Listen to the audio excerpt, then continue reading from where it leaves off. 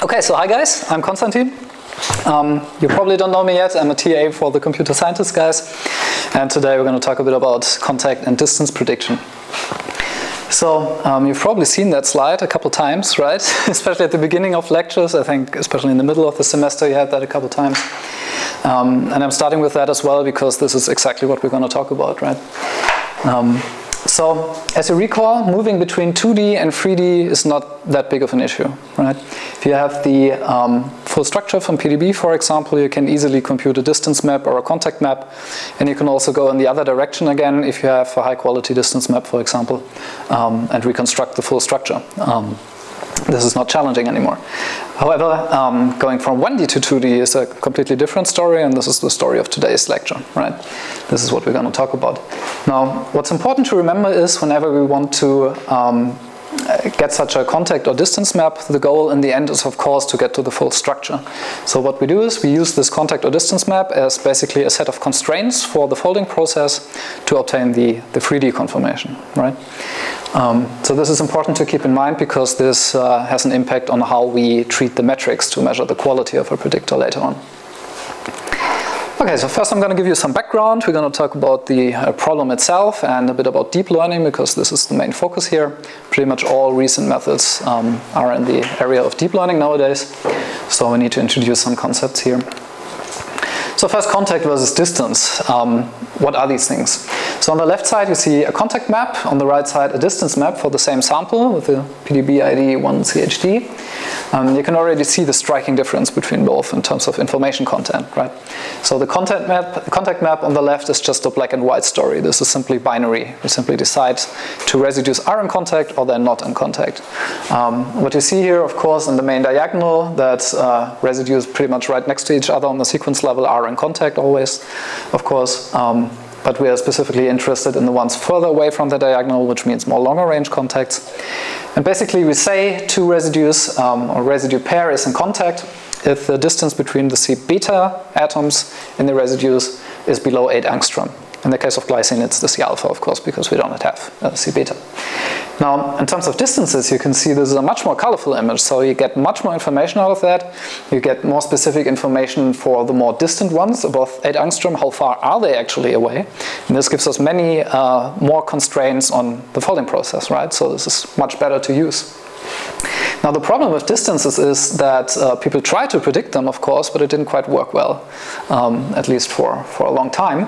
And the problem was that people tried to use regression to infer the distances because they're real valued features, right? So it's intuitive to do that, but it didn't work well. It only um, started to work well when people realized that they could wrap it in a classification problem. So it's not like you're inferring the distances in angstrom. What you do is you define a set of bins, basically, and you say, well, the first bin represents distances between 0 and 2 angstrom, and the next bin is 2 to 4 angstrom, for example. You have like 20, 40 bins like that. And this is a classification task, and apparently this works much, much better. And uh, with the more recent methods, we're actually on par with the uh, performance for the contact maps. So we are seeing a gradual shift in the field right now, moving away from the contacts and more towards the distances since, well, uh, obviously they contain much more information. Still for historical reasons, especially in the CASP challenge, we are still using contacts. Um, and it's important to note that you can reduce a distance map to a contact map pretty easily. How would you do that? Well, you take all the bins representing distances below 8 angstrom and you simply sum up all the probabilities in there. Then you get the probability that they form a contact. And this is quite important because uh, otherwise you wouldn't be able to compare to, to earlier methods, right? So this is what we do, but how do we do it? Um, this is the story about evolutionary coupling scores. Uh, this was already introduced, so I'm going to go a bit more quickly over this. So basically what we want is we want a multiple sequence alignment, and we're looking for columns where we observe correlated mutations.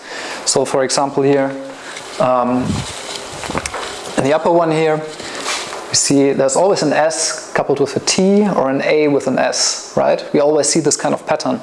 And if we see this really through, through uh, many of these sequences in the alignment, we can say, well, okay, there's something going on with this, with this residue pair. What's going on? Well, most likely they form a contact because um, they seem to depend on each other.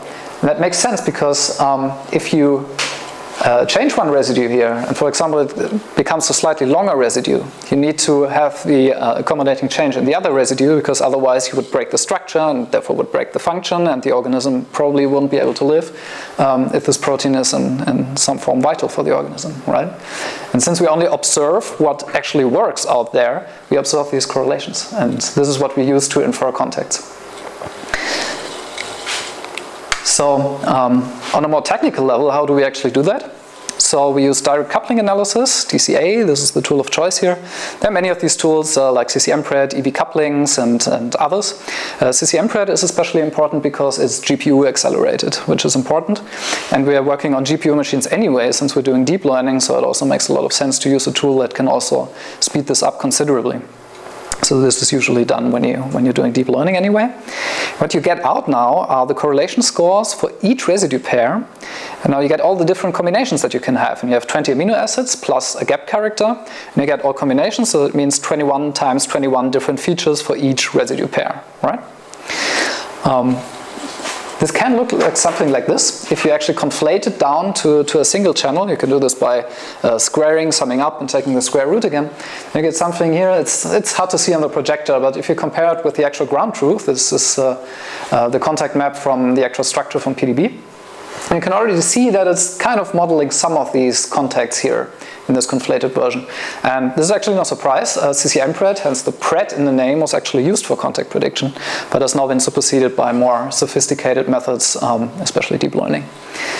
Now, what we use is not the conflated one, but actually the full correlation scores, and this is in the form of L times L times 21 times 21.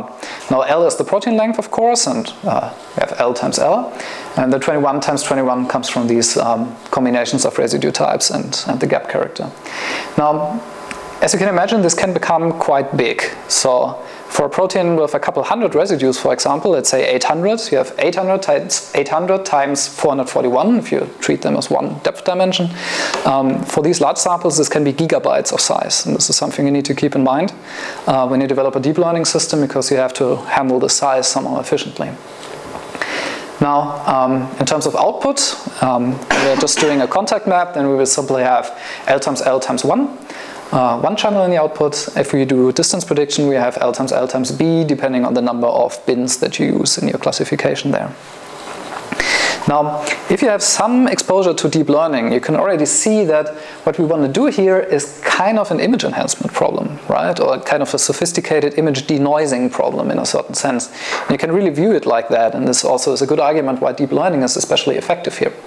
Um, the other reason is that we're having dynamic input and output sizes, uh, most notably L times L in the input as well as in the output. And this is really in the realm of deep learning, and this is also why we need to look at some of the basics of this. Now, um, CNNs were introduced before by Michael Heinzinger, as far as I'm aware, so I'm keeping this a little bit more brief. And this is already an outdated view, but this is kind of the iconic first version of CNNs as they existed back then. Uh, I mean, back then it's a couple of years ago, so it's, it's, pretty fast in this area. So this is kind of the, the network you would see for uh, object detection, for example. So you have some kind of image, you have convolution kernels, and these run in rows across the, across the inputs, generating feature maps, one feature map for each kernel that you run over is. Then earlier people used uh, subsampling, they were downsampling these images with pooling layers, and in the end uh, having a lot of these smaller feature channels and then going into fully connected layers and into some classification output, for example. But this is not how we do things, so this is already outdated. So let's move on. But first things first, I really wanted to give you another perspective on convolution kernels to make sure that you understand what the basic idea behind that is. And although this looks complicated, this is one of the best illustrations, in my opinion, to really check if you understood the concept behind that. So let's go through that quickly. So you have an input with three feature channels. So that's one, two, three. The original input size is 5 by 5. That's the one here in the center. The first thing uh, you need to define when you want to use a convolution kernel is the padding. Um, in this case we have a padding of 1. That means we add uh, basically a border of zeros around this. You Could have more padding depending on what you want to do. We'll talk about that in a second. The other thing that you need to define is the size of the convolution kernel. So in this case, we're having a 3 by 3 convolution kernel here. And one of the most important properties of such a kernel is that it always runs across the full depth of the input. So it's running, it's looking at all the feature channels at the same time. Now here you see a visualization of the weights of this kernel. As you can see, corresponding to the three feature channels, we have 3 by 3 times 3 weights um, in the convolution kernel. Now, um, the important thing is that these weights are always going to be the same, no matter where I place my convolution kernel. Okay, and this is one of the most important properties because for uh, object detection, for example, it doesn't matter where this object is, or it shouldn't matter where that object is in my original image, right? It should be detected no matter where. And this is exactly what the convolution kernels can do. Now in the output, and this is also something that confuses some people, um, while the convolution kernel spends the full depth of the input, it produces one single output channel. Which also means that the number of output channels that you get corresponds to the number of convolution kernels that you use for this input. And this is essentially a hyperparameter. You need to figure out how many you use. Um, since each kernel will have different weights and will be optimized to do something else, you of course give the network more flexibility in detecting things in the input. So for example, in, in an image translation problem, one kernel might detect edges, another kernel might detect changes in color or something like that, right? In the biology realm, it's harder to say what they actually do, but it's going to be the same idea. Now, if you add more and more kernels, you add more and more free parameters to the system. It takes longer to train. It's more complex, more powerful, maybe. But uh, if you overdo it, you run into overtraining, right? Uh, overfitting problems. So it's kind of a balance you have to strike, and this is mostly empirical. You have to train for each scenario and see what, what works well. So what you often want to do is you want to relate your input and your output sizes. And there's a neat formula to do that. So often you have the question, okay, I have some input size that is given. I want to produce a certain output size. How do I need to define my kernel size, my padding, and my stride to actually get what I want? And in many cases, what I want to get actually is I want to conserve the input size. And in our case, this is also true because remember, we have L times L as an input, and we also want to produce L times L as an output. So we do not want to change the size at all. Also, L can be pretty much any arbitrary uneven number. Could be like 237 residues, and we do not want to down and upsample that again because then we're getting into all kinds of problems. Um, so we usually want to conserve, and uh, if you plug that in the formula, you see there are different ways to do that, many more. For example, if you have a kernel with size 5 by 5, you will see that you need a padding of 2 to actually keep the size the same. So let's take a look at more modern incarnations of CNNs. So um, basically you have a building block like that. You start with a convolution kernel, as I explained, then you have a batch normalization layer, and then some kind of nonlinear activation function. Uh, this can be a PReLU, but it could be a normal ReLU, it could be a leaky ReLU, a sigmoid, whatever you want to use, right? Um, the batch normalization layer is there to, well, essentially normalize the data in each, in each layer. This is important because if you go deeper in your architectures, you can run into problems like vanishing gradients, for example. And uh, batch norm is one of the ways to, to counteract that. So this is pretty much present in all modern architectures. Um, and has been in favor of dropout. Earlier, uh, dropout was mainly used, but batch norm is normally this, the standard today. Now if you take a look at the full architecture here, and this is one which could actually be used for contact prediction or distance prediction, um, you have three main parts of the system. The first one is the input part up here, then you have the main backbone part in the middle, and some kind of output part in the end. Now the first part here is not always needed, but in our case it is, because remember the input is really huge, or it can be really huge for, for a large L, for bigger proteins. So what this first stage here does is kind of an in input compression part. So we simply want to reduce the size of our data representations so we're not running into memory issues later on. Um, so what we do is we reduce these uh, 21 times 21 or 441 channels down to 128 and then to 64 and this is actually the number we use for the, for the backbone of the network. And that keeps the size manageable and it doesn't blow up in terms of memory. Now in the, uh, oh yeah, and we only use one by one convolutions for this. This is the only thing you need for compression. But then in the actual backbone of the network, we're using five by five convolutions, obviously, since we want a bigger receptive field in this case. And uh, here in this one, we have seven of those blocks. This is essentially another hyperparameter. You just try to figure out how many do I need. You start small usually. And if you see, well, it actually improves when I add more layers, we add more, and at some point maybe it doesn't. So this is pretty much empirical. Then you get into an output layer in the end, and now it depends on what you want to predict. So for contact maps, you have just one channel, you just have probabilities for each residue pair, so it's one layer. Um, and then a sigmoid since we want probabilities. Um, in case you want to predict distances, this is slightly different. Um, you're not having one channel, but B channels corresponding to the amount of bins that you use. And then you either just uh, use softmax as a nonlinear function here, um, or you skip that completely and go into cross entropy loss or whatever the framework actually decides for that, because that, that depends on what you actually use. So this is already outdated as well. so sorry for that. But what's used nowadays really is this technique here, and this is a residual network. Um, so basically, when we're looking at the full network, there's not a big difference. We still have some input compression. We have the backbone, which now consists of residual blocks, um, and output layers here. So this is one of these residual blocks in detail. Now, each residual block contains normal convolution layers. Um, in this case, I have two layers here with uh, 5 by 5 convolutions, although uh, this is just an example. So it could be just one layer, it could be more than two. This is another hyperparameter you need to optimize, so it's getting more complicated. Um, but the main point of this residual block is that you feed through the original input of your block and add this to the output. And you're really adding. You're not concatenating, you're really adding up, which has the advantage that the size stays the same. So that's convenient for the architecture. Now, the whole point of this is that you make um, less abstracted information from earlier stages available for later stages. If you would have a sequential architecture that runs through all of these channels, you would basically lose the less abstracted stuff from before. And this here gives the network the opportunity to rely on all the different intermediate representations at the same time. Now, in combination with batch normalization, this is pretty much the powerful technique to allow very deep architectures. And this is basically what you see for the big players like Facebook or Google. They have very, very deep architectures and they rely on, uh, uh, on these features, batch norm and residual networks. Um, what you can also see here, what I should mention is that the order of the operations seems to be slightly shifted, right? We're going into batch norm first here, then nonlinear nonlinear activation and then um, convolution. So this might seem strange, but the order is actually the same. It's, it just needs to be shifted like that.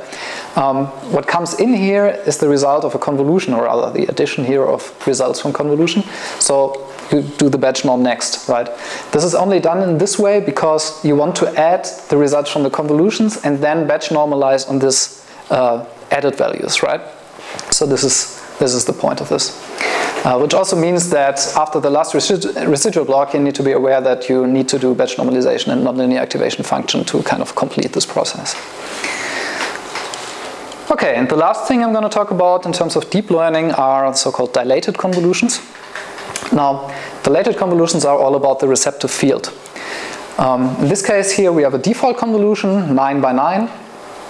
We could also say that this is still a dilated convolution, but it has a dilation factor of 1. Um, so this has a receptive field of 9 by 9. This one here is a dilated convolution. It's a 3 by 3 convolution. As you see, it's three sample positions but with a dilation factor of 4. That uh, dilation factor basically tells us how many positions do we skip between the sample positions.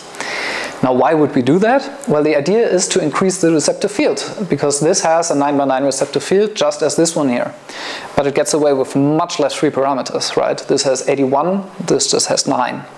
Of course, we're missing all the points in between, but it's not so bad because we're still moving this thing across the whole input. Okay?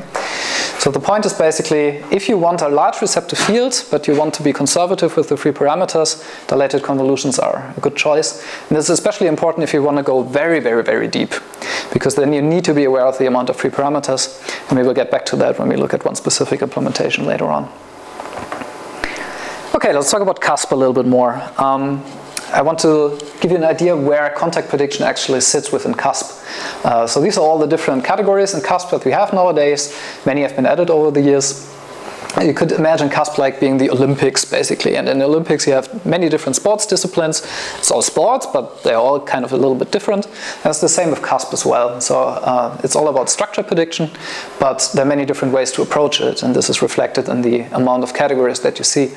The uh, most important original one is of course uh, the actual 3D structure that we want to infer. And there are different subcategories that have been added over the years uh, homology, fold recognition, de novo prediction and so on. Um, also, originally we had SAC structure prediction in CASP, but this was cancelled after CASP 5 and is no longer present in there. And then we have um, another set of categories added, and you can see contact prediction was one of the first ones, so it's present since CASP 4, since it's so important. Now, also after a while, since CASP 7, we have additional sample categories because they realize, well, there are many, many differences in the difficulty of the samples that they use in the challenges. So uh, there are some for which we can actually find related structures, and those are in the template-based modeling category. As the name suggests, you can use these as a template, so you can do homology modeling on those.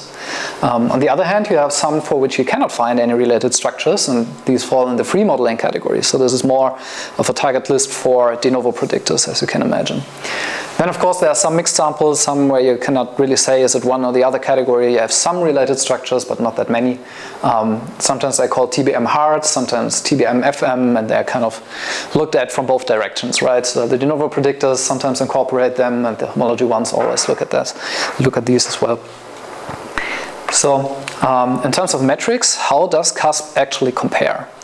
So in terms of contact prediction, we're having binary results, right? So we have true positives, false positives, and so on, the typical results. So you have the usual suspects, right? You have precision, you have recall, you have F-score, and the MCC, the Markov correlation coefficient. The MCC is especially interesting because it really factors in all possible results, and uh, true negatives are actually not present in the other ones. So this is something to keep in mind. What we also do is we usually differentiate uh, in contact prediction between short, medium, and long range. And this is done because uh, we are specifically interested in the long range contacts because these give us the best constraints for the folding, right? If you imagine you have a sequence and you know there's a contact between very distant residues, then you know this, this kind of forms a loop here at least, right? This restricts the amounts of freedom that you have significantly, whereas if you have two residues close by and you know they are in contact, it doesn't tell you much about the overall structure, right? So we're generally focusing on long-range contacts, meaning everything above 23 residues apart on the sequence level. Um, this is mostly the basis for comparison during CASP. Now, is that everything that we need? Can we get away with all these metrics? Can we assess the quality of a contact predictor just by using those alone? That's the question now that I want to pose to you. Because what would you try to do when you're developing a contact predictor, would you try to maximize the amount of true positives or would you rather try to minimize the amount of false positives, assuming that you need to choose, right? Because in the, in the, best world, you would try to get both. But if you have to choose one side, if you want to emphasize one side over the other, which one would you choose? Ideas? Well, we said that 2D to 3D is already kind of solved. Wouldn't it make sense just to make 3D from the 2D and then see how well that overlays with the actual result? Yeah, you could do that, but let's assume we are stopping at contact prediction for now. We're not going for the full 3D structure. But of course, we need to keep in mind that we want to go there. That's kind of the point. But how could we assess the quality when we're just looking at the contact map? Keeping in mind that they should serve as constraints for our folding process.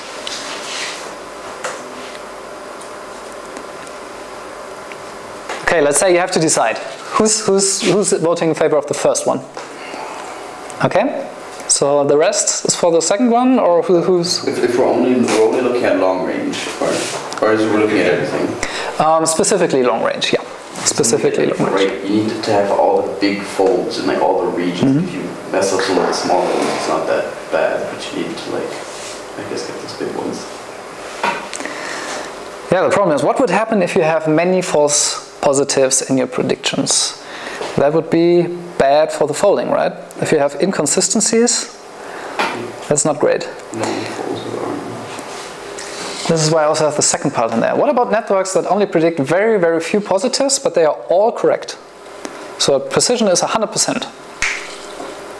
Is that a quality criterion? Is that good? Maybe?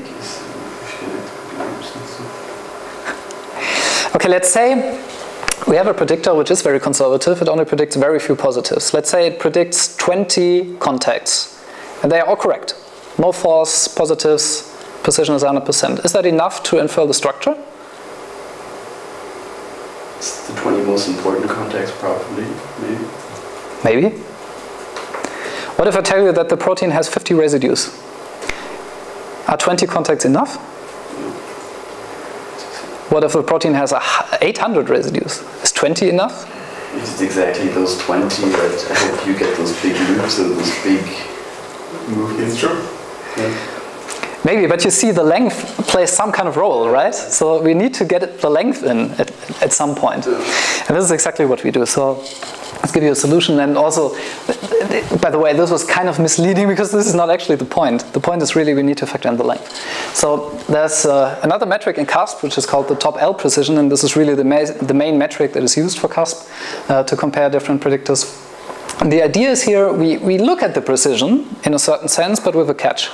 So what we do is we select the L, and this is kind of the length normalization, L being the length. We select the L most confident long-range predictions. And we do specifically not care if they are actually above the decision threshold. So let's assume we have a very conservative network. It only predicts five contacts as positives. Yeah? But we're not just taking the five, we take L. L the L most confident ones, even if they're below 0.5 in their probability. Okay? We take all of them. And then we check if they actually correspond with contacts. What that does is it gives us an indication on how reliable our system is, right? We want that all the most confident predictions actually correspond to contacts.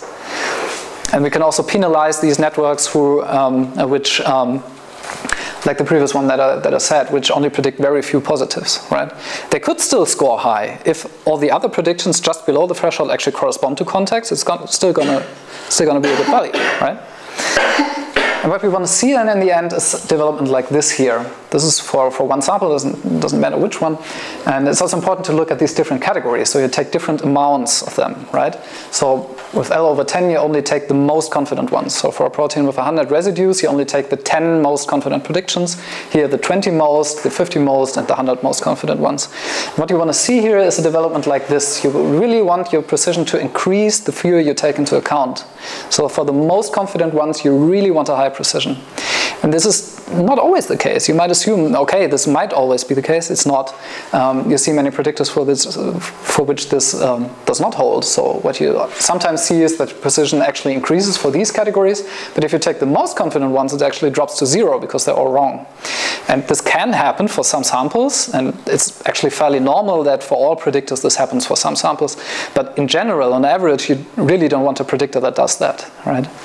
So this is kind of an important quality criterion for for contact predictors, and this is why it's used in, in the CASP challenges.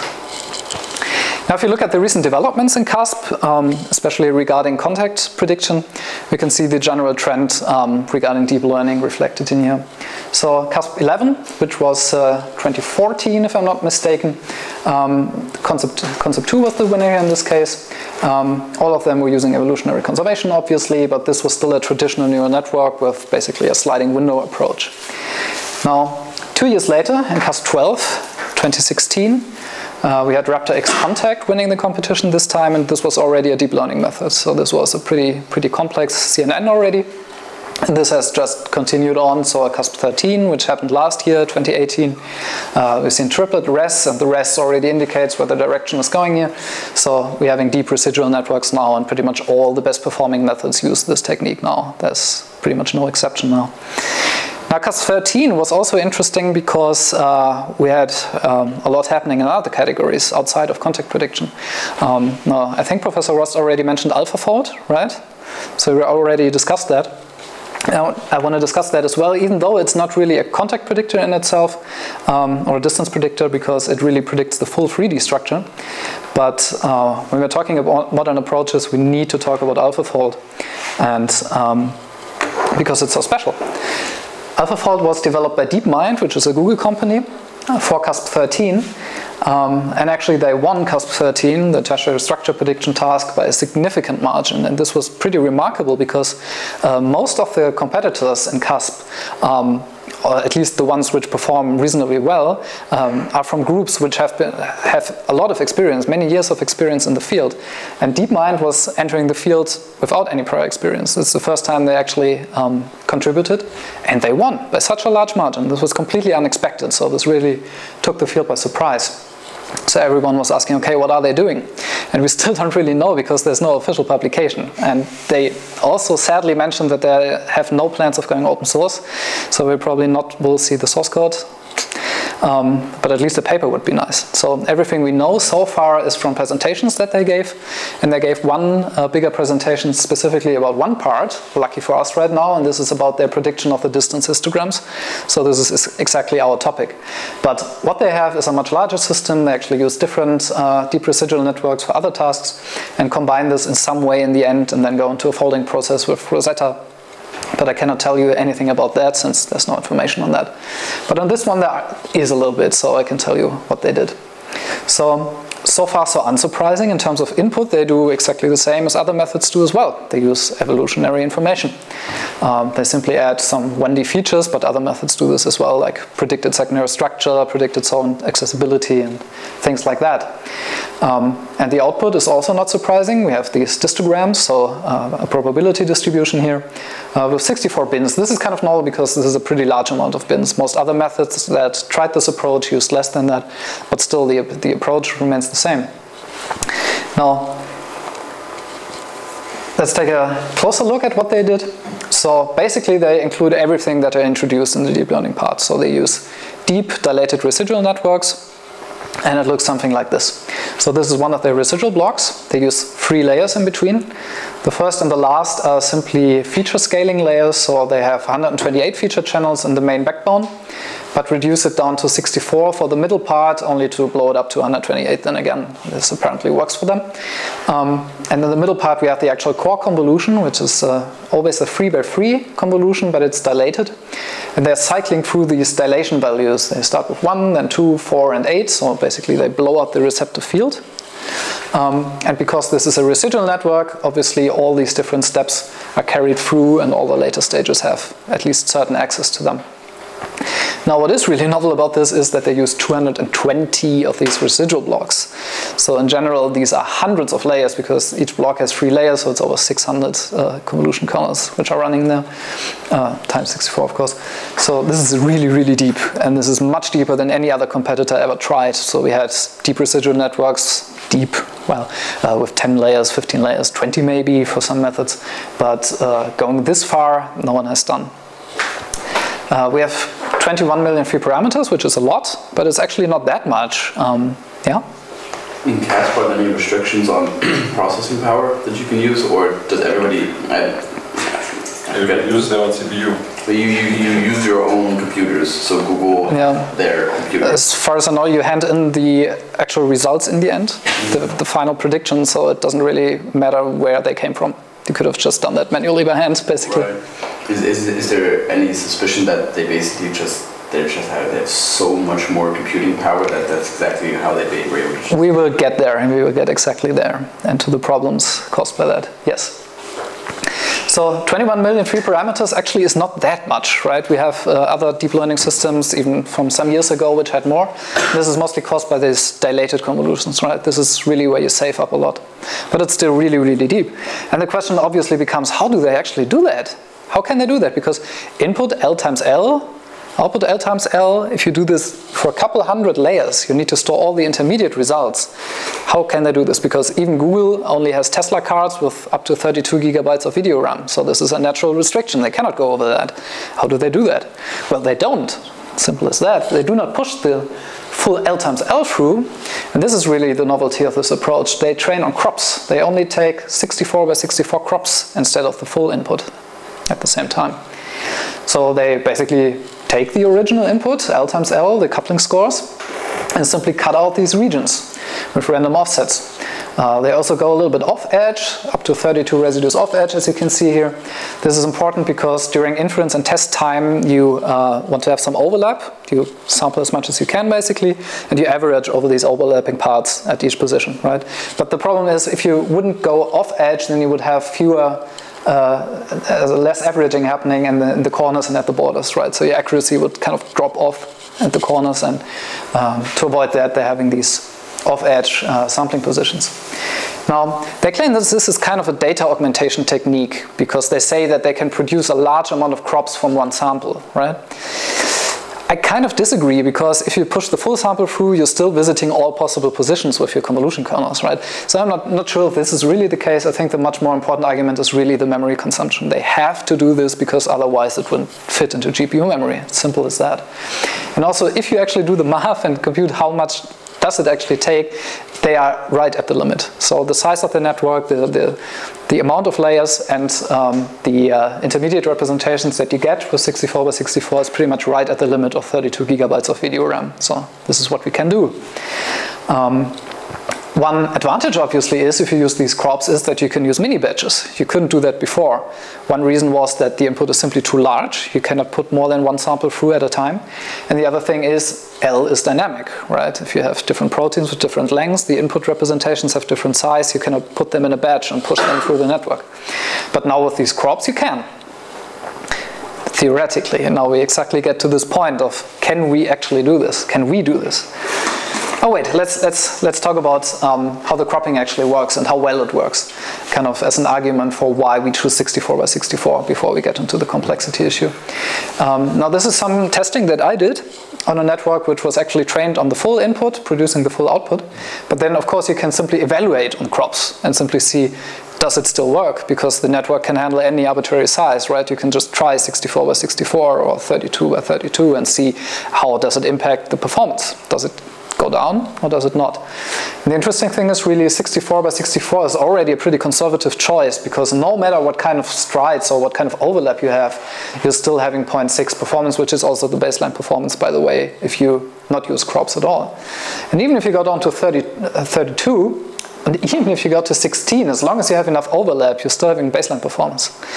This is pretty remarkable, and this was kind of surprising for many people, including myself, because I thought that at least for the long-range context, that you need a wider receptor field to actually capture them. But apparently that's not the, not the case.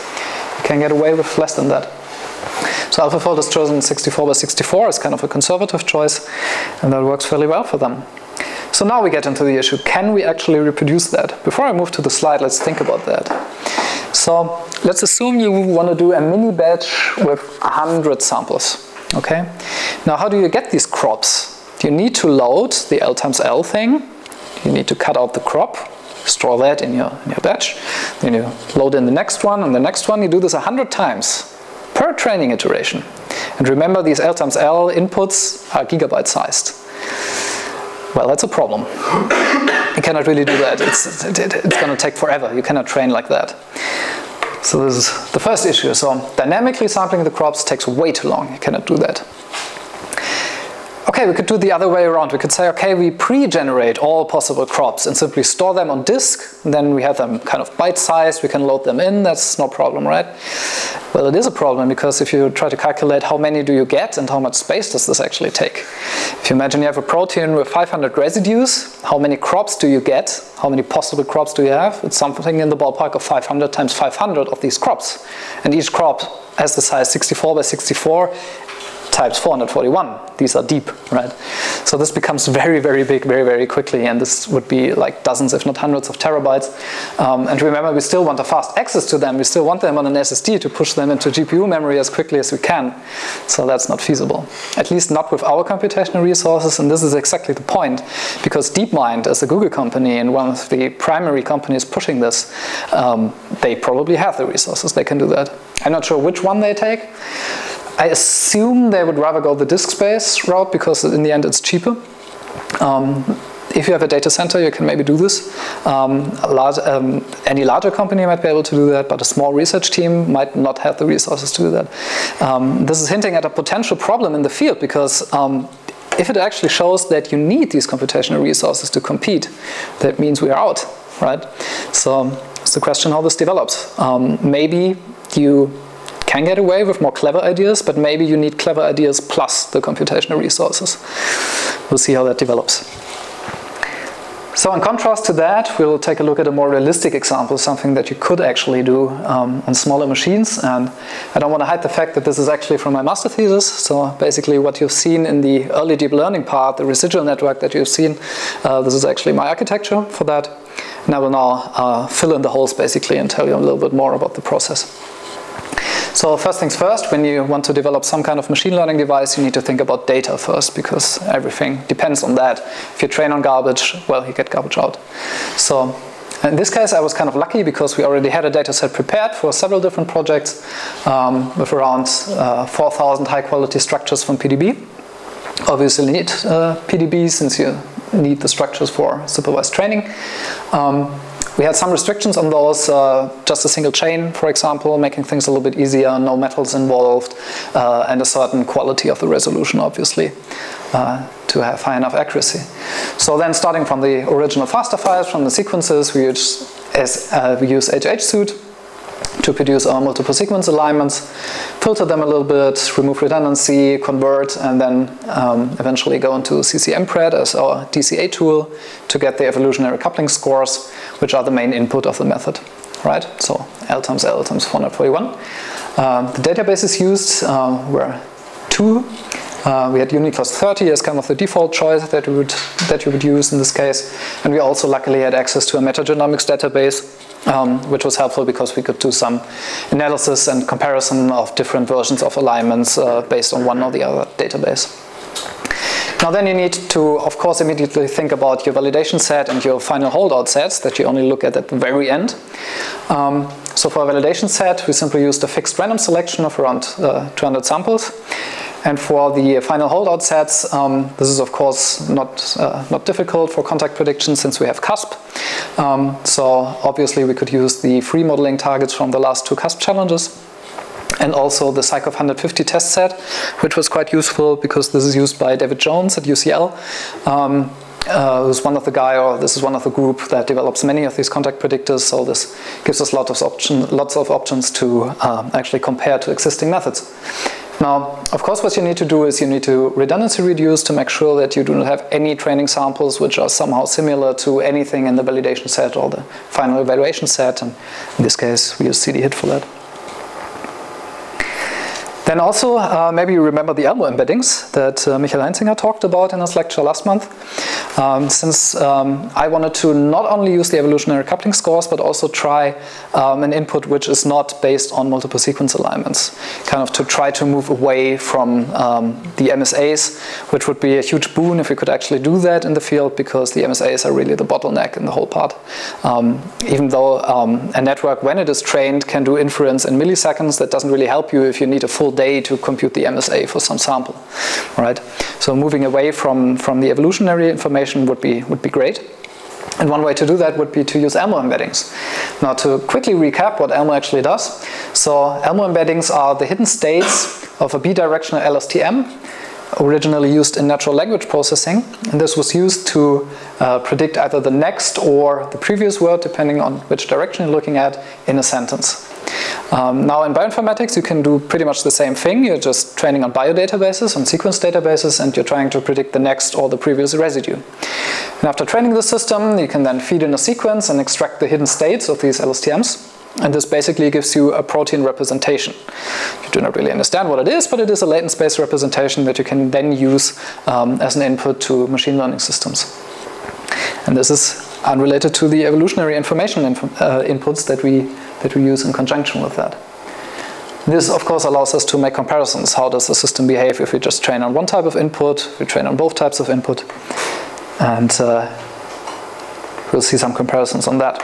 So First though, if you have one-dimensional inputs, like the ELMO inputs, you have the problem to, you have to somehow get it into a 2D architecture, right? Because uh, for the contact maps, having 2D convolutions here, and we need to somehow push our 1D input in. And uh, you do this in a relatively naive way, but uh, even AlphaFold doesn't uh, use anything else, so they're doing the same thing for their 1D inputs. So basically, if you have some input, 1D feature, L times N, N is in this case for ELMO inputs 1K, you simply duplicate these values along this axis to make an L times L representation. And you not only do this in one direction, you also do this in the other direction, and then you concatenate both. And in this way, you get this pairwise information that you need for the 2D pipeline. And after you do this, you concatenate with the original 2D inputs that you had and go into the full backbone. Now, the problem is for these ELMO inputs, again, this is a depth of 1K. if you do this in both directions um, and concatenate, you have L times L times 2K. This is pretty big, so we do not really want that. Um, so we do the same thing that we do with the EC inputs as well. We first reduce the amount of feature channels significantly. We get on to 128 and then to 64. And then we do the expansion, and this is more manageable in terms of memory. So then we concatenate and go into the backbone. This is actually a slight mistake. This should be uh, the beginning of the residual network, right? Not the normal sequential one. So just imagine this is the first, uh, the first residual block of the network. Okay, so now for some results. So uh, let me first explain what you see here. So this is a comparison, a per sample comparison on the validation set of MCC. So each dot here is one sample.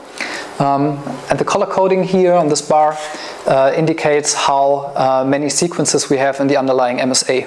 So the more bluish it is, the more rich the MSA is, and the more reddish, the fewer sequences we have in there. And for the worst cases, it's only just a handful, or maybe sometimes even none. Um, as you can clearly see at first glance uh, for both methods, um, it's obviously performing well for the rich MSAs, and the performance is pretty bad for, for the shallow ones, as expected. No big surprise here. So what you see is a comparison of two different networks. One network is only trained on evolutionary coupling scores.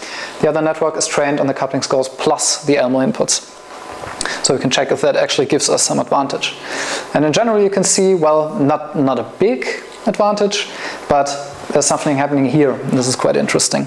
So for some of the samples, especially ones which are relatively bad, um, our original network just on the ECs was not able to make any inference at all, right? Performance was just zero. But if we add the Elmo inputs, we actually get somewhere at least. So that's, that's already not bad. But we could also look at what happens if we train only on Elmo. So that's somehow better. So we here have a network trained with Elmo, so coupling scores plus Elmo, and one network with Elmo only. And as you can clearly see, we still need the evolutionary information. It's not going to cut it. Just using Elmo is pretty bad. Except for a few samples here, for ones with really bad MSAs. And this is kind of surprising, right? I mean, in the previous one, we had a network trained on both, and it's kind of understandable why we have these outliers here, right? But then we compare this with the Elmo only network, and we still get some here. Why, do, why is that happening? Why do we not have some, um, some more information on the network trained on both, right? Should be able to do something with those. Well, as it turns out, if you analyze those a little bit further, you see that this goes back to the uh, point that I made a few slides before uh, about the amount of true positives and false positives, right? Um, what happens here is that the predictor only based on Elmo is very bold. So it predicts many positives, but many of them are actually wrong. This is why we get something out of this here. Whereas if we train on both inputs, it's a bit more conservative. And it's good that it is because in the end, these predictions are actually not usable for folding because they're all over the place. Too many false positives in there. So yeah, the moral of the story is um, Elmo isn't quite cutting it, but we're certainly moving in the right direction by trying to use more inputs which are not based on evolutionary information. Now for some general performance analysis, so this is a um, comparison on the PSICOV 150 test set um, with some of the more recent methods from David Jones, which uh, originally published this set. Um, we have CCMPRED here as kind of a baseline because random baseline doesn't make sense because it's so unbalanced anyway, it's going to be very low. But CCMPRED is kind of a useful baseline here as a comparison. Um, and then we're comparing with MetaPSICOV2 and DeepCoV. DeepCoV is a relatively recent method from uh, Jones' lab from 2018. As you can see, well, we're performing pretty well. It's pretty good. Uh, we factor in the error bar, we sadly do not have errors for the other methods, but uh, here we are quite a bit better. Now when we look at CASP12, the picture becomes a bit different. So uh, first, sorry for this wall of numbers. Um, let me walk you through that. So what you see here are the CASP12 free modeling targets, or the harder targets in each row, um, and a comparison between MetaPSICOV, RaptorX Contact, and our method.